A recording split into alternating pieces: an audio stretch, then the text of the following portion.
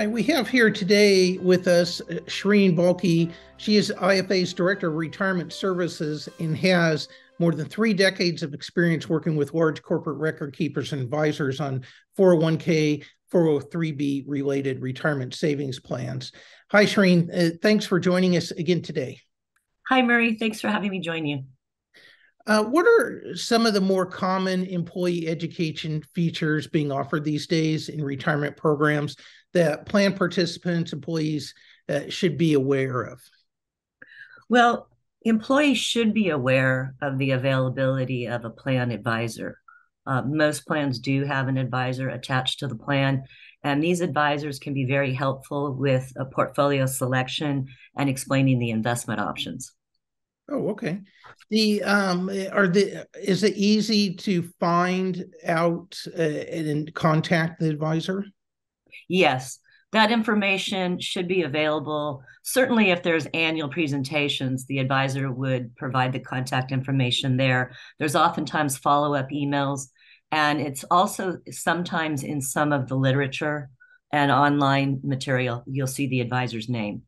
Okay. And, and I uh, assume there's also online tools like risk capacity surveys, retirement analyzers, budget calculators that are commonly made available to plan participants. Yes. And those can often be found on the record keeping website, or the advisor sometimes also provides a microsite. So there's a lot of really useful tools to help the employee determine if they're, you know, going to, if they're in line for retirement. Okay.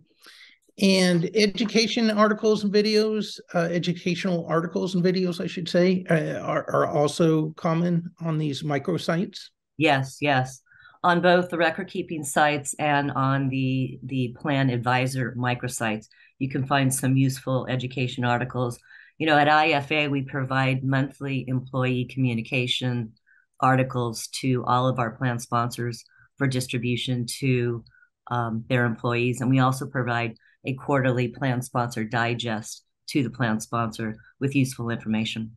Okay, just a, a question. Uh, I know uh, different advisors do it differently, but at IFA, they make the risk capacity surveys, the retirement analyzers, the budget calculators, the Monte, uh, Monte Carlo retirement simulation tools available to plan participants.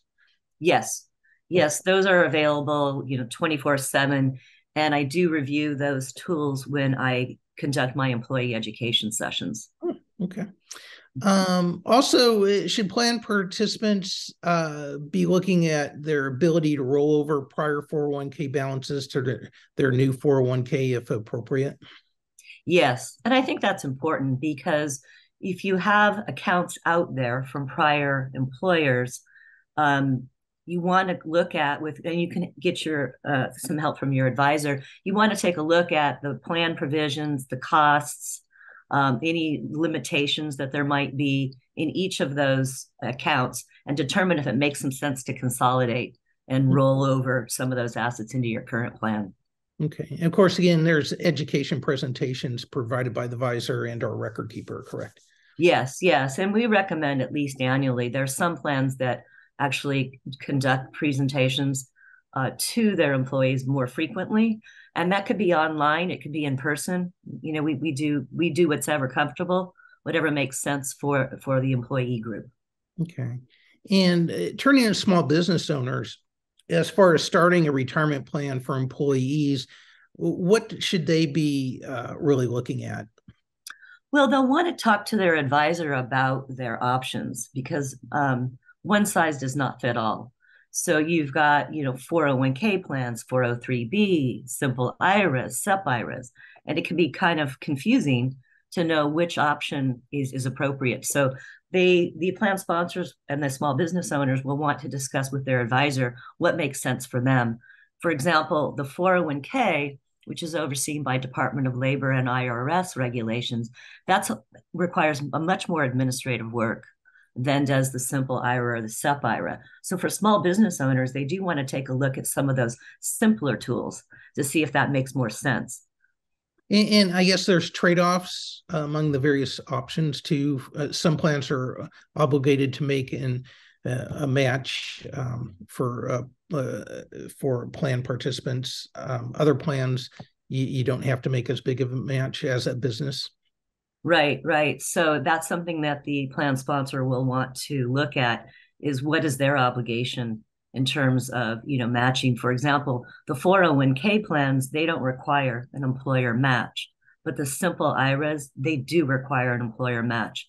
And some options are more require a lot more administrative work and help than others. The, the reason why they call it simple ira is because it's very simple. So you don't have a lot of these department of labor and irs regulations. So it really depends on staffing and it depends on what the owner's uh, priorities are. What is their objective with regard to the the retirement plan?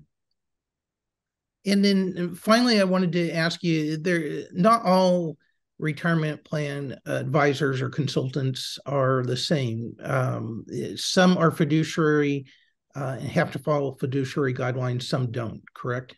Correct. Um, the the letters or the the numbers 338 are thrown out a lot. And so there are 338 advisors that take on a fiduciary role. So they have investment discretion with regard to building portfolios and investment discretion with regard to the, you know, the options that are being uh, given or, or, that are in the plan. So that's different from, say, like a 321, where they are not a fiduciary uh, alongside or do not have discretion over the assets in the plan. And an IFA, I assume, is 338? We are. We're 338. So we do have discretion over the plan options. Hmm. Is that more expensive for the employer or the participant?